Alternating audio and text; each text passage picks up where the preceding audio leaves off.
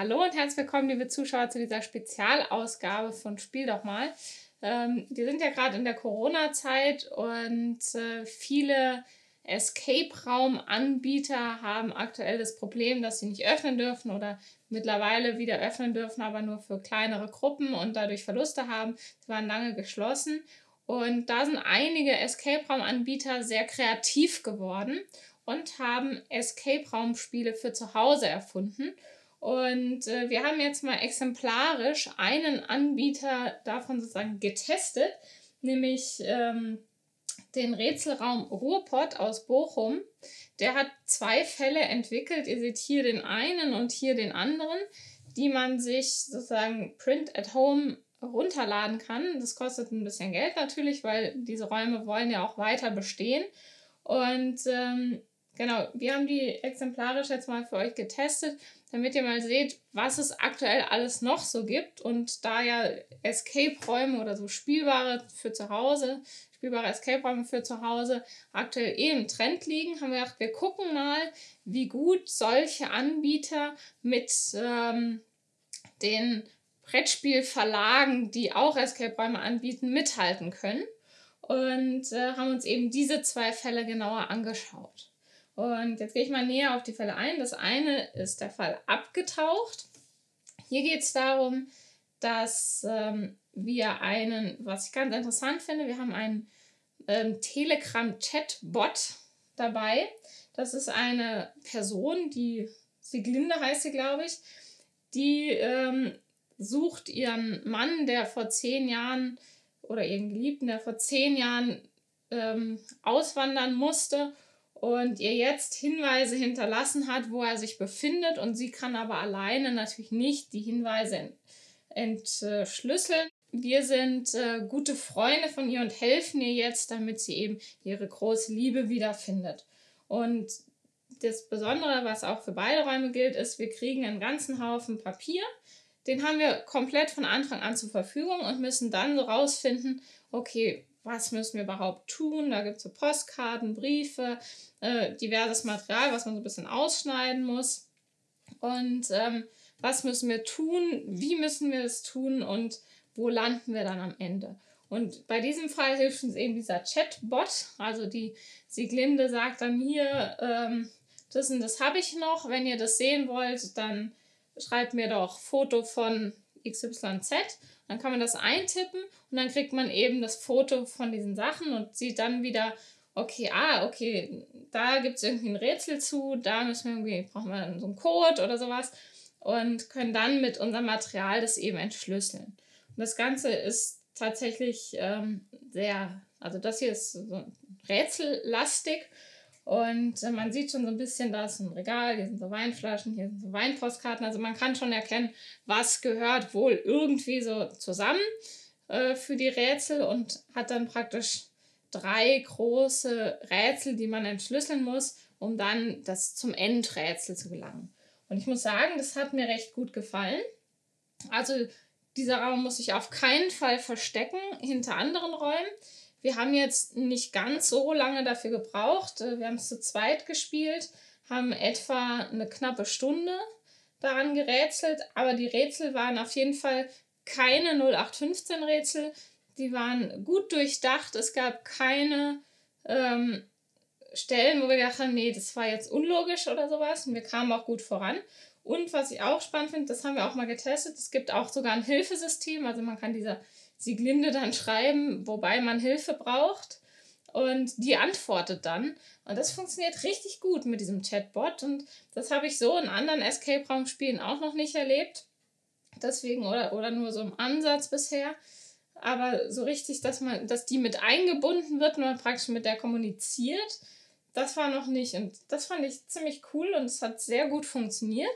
Und ähm, ich fand den Raum wie gesagt, er braucht sich nicht verstecken.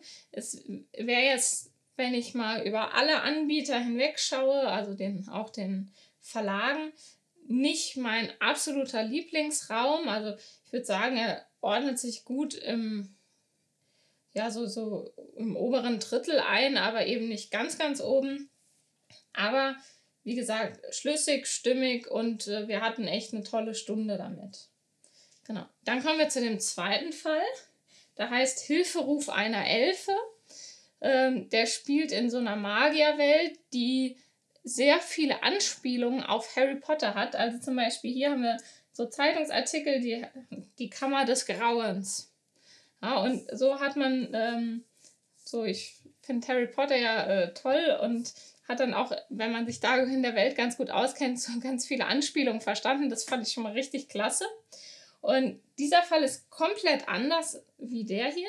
Es sind keine Rätsel, sondern es ist eher so wie die Adventure-Fälle. Also ähm, man muss was rausfinden, am Ende auch Fragen beantworten, also eher so fast schon so detektivmäßig. Und ähm, hat auch wieder all das, was ihr hier seht, direkt von Anfang an.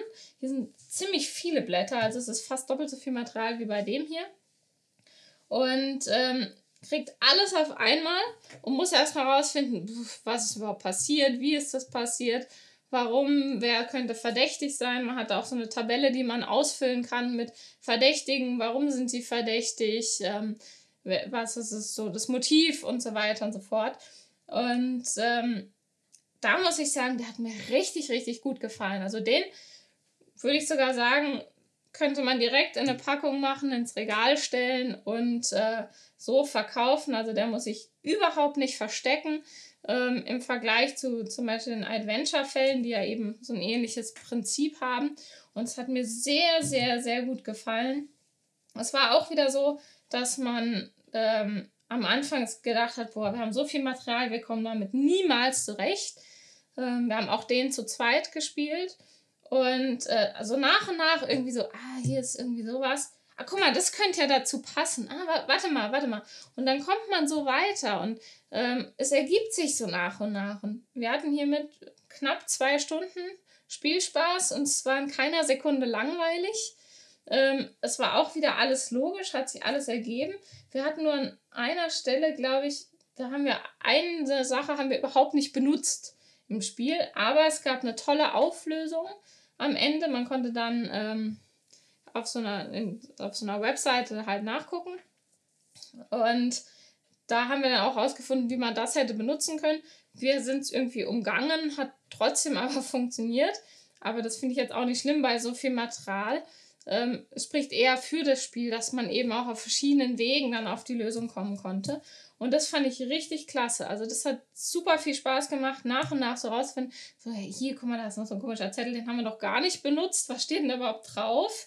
Oh, ah, okay, ah, hätten wir das mal früher gewusst, dann hätten wir uns vielleicht da hinten das Rätseln da sparen können, äh, weil hier steht es ja und sowas. Und wie sich so nach und nach das Bild zusammengesetzt hat, hat mir wahnsinnig gut gefallen. Also diesen Fall, muss ich sagen, der war richtig top.